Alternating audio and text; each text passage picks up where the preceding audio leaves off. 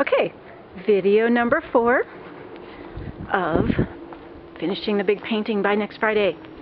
Although I'm not working on a big painting right now. Left brain says, uh, wouldn't you call that procrastination? I said, no, it's drying right now. It's in the black gesso still has to dry.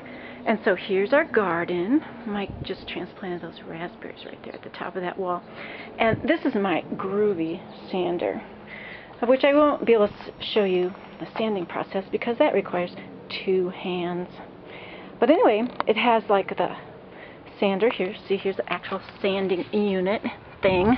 And it has this exhaust suction hose thing so that I could even sand indoors if I wanted to.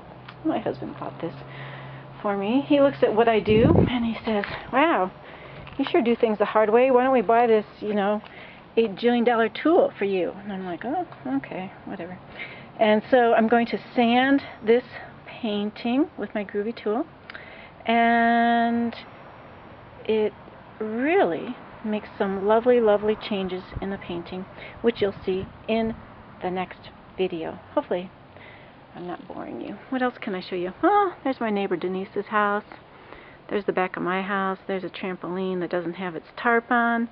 Um, here's some cute little aspen trees my husband planted last year.